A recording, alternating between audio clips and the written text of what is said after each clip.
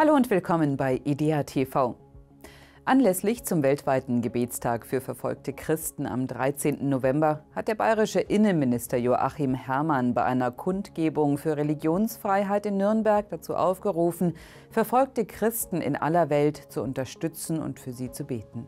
Herrmann machte die Teilnehmer der Veranstaltung auf die Situation von rund 360 Millionen Menschen aufmerksam, die wegen ihres christlichen Glaubens benachteiligt, ausgegrenzt oder massiv verfolgt werden. Der Minister ermutigte dazu, auch in Deutschland für Religionsfreiheit einzutreten. Man dürfe der Intoleranz keinen Millimeter Platz geben, sagte er. Im Deutschen Bundestag hat es heftige Kritik gegen die evangelische Kirche in Deutschland gegeben. Der CSU-Landesgruppenchef im Bundestag, Alexander Dobrindt, kritisiert ihre Unterstützung für die linksradikale Klimaprotestgruppe Letzte Generation.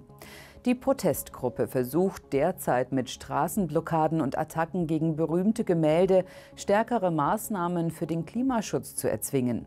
Bei seiner Kritik bezog sich Dobrindt auf eine Aussage der Präses der EKD-Synode Anna-Nicole Heinrich. Sie habe gegenüber Journalisten erklärt, dass Straßenblockaden ein legitimes Mittel des zivilen Widerstandes seien und sie sich deshalb mit den Klimaaktivisten solidarisiere. Was ist der Wille Gottes und wie erkennt man ihn? Antworten auf diese Fragen hat Pastor Tobias Rink vom Tagungs- und Seelsorgezentrum Julius Schniewind Haus in Schönebeck.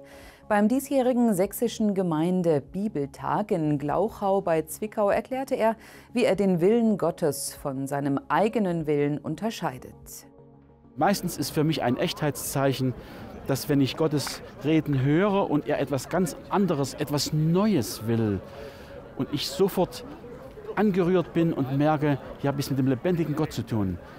Da findet diese Unterscheidung statt zwischen meinen Sehnsüchten und Wünschen und dem, was er will. Am besten, so Rink, erkenne man Gottes Willen, wenn man sein Wort in der Bibel liest. Man könne ihn auch nach einem Streit erkennen, wenn man sich im Recht fühlt, aber den Drang hat, sich zu entschuldigen. Darum sei er überzeugt, dass dieses Gefühl nicht von einem selbst, sondern von Gott komme und dass man es keinesfalls ignorieren sollte. Soweit die IDEA TV Nachrichten. Ihnen alles Liebe, Tschüss und bis bald.